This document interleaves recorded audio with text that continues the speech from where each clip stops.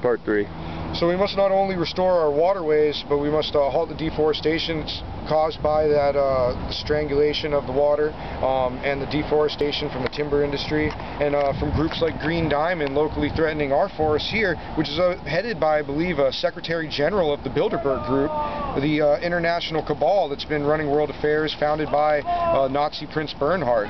look that stuff up yourself. You can watch the film Endgame, also free online if you want to learn more about that. But we must stop and prevent these wars on all fronts of all forms, whether they're against our environment or against our freedoms or against foreign people uh, to be exploited for our own benefit, um, whether we directly get it or not. Uh, to unite with other groups and see that we shouldn't divide ourselves for fear of being too radical.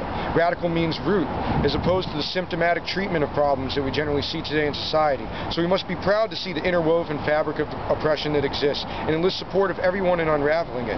This is our duty, and we can provide our own power politically, agriculturally, electrically, monetarily, and uh, awareness-wise in our own communities, bioregionalism.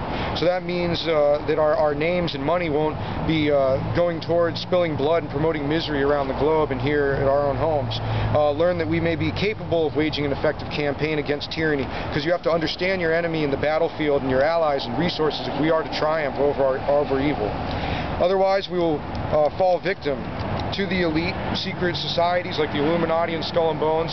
Bush and Kerry were both part of Skull and Bones in 2004 uh, roundtable groups such as the Royal Institute of International Affairs in the UK, controlling media, education, history, and policies, with the intent to merge us into a commonwealth of nations, a one world government, a new world order, as revealed by Carroll Quigley in his book Tragedy and Hope, um, Bill Clinton's mentor, actually.